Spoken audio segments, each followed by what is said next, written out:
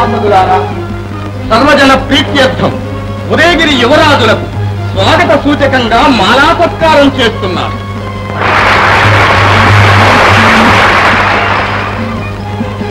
కుమార విక్రమదేవులకు ఇదే నా ఆశీస్సు.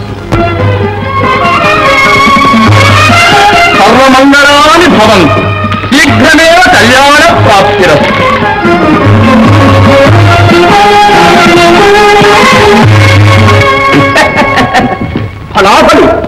తమ అక్షంతులు పడ్డాయి. ఇక ఈ ఘట్టంలో నేను నెగ్గినట్లే. ఆహిరే నేనెవరో మీకు తెలుసునన్న మాట.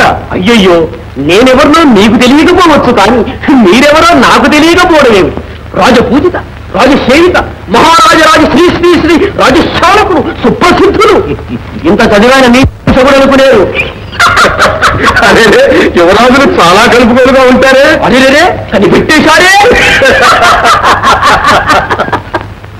హరివరంగ హారి. అరే గరుత్మంతుడిగా వాలావు. పగటి వేసం కదా. ఆ చేతులది ఏమిటి?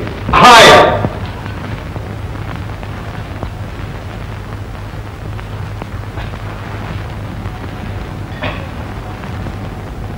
అవధరిస్తుంది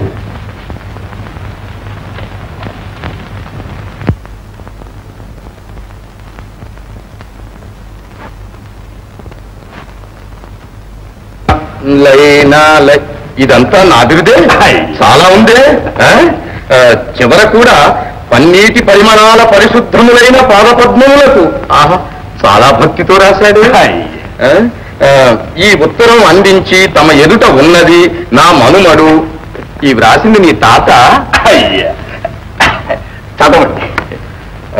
నా అవసాన దశలో సావు తెలివిగా నాకు కలిగిన దివ్య దృష్టితో కనిపెట్టిన వాడనై. దివ్య దృష్ట్యా అదేనండి. జబ్బుగా ఉన్నవాడు హఠాత్తుగా లేచి వెలుగొచ్చిందిరా.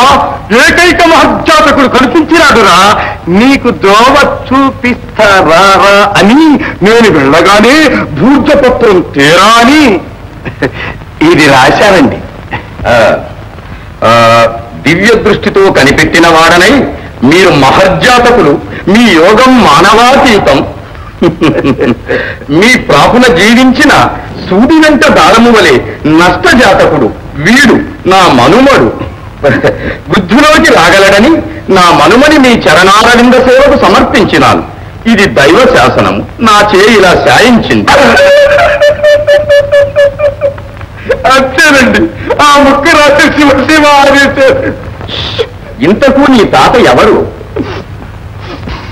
పూర్వం ఉదయగిరి సంస్థానంలో ఆస్థాన విదూషకులుగా ప్రసిద్ధికెక్కిన వారు. పేరు కార్తీక భూతి. మా తండ్రి గారి పేరు శ్రావణ భూతి. నా పేరు ఆశాల భూతండి భళావుడి ఏమిటి? నీవు మా ఆస్థాన విదూషక వంశ సంభూతుడవా? మా నాన్నగారు చెప్తుండేవారు. స్వామి భక్తి మీ సొత్తని. అక్కడ ఇక్కడ ఉండదు మా కులం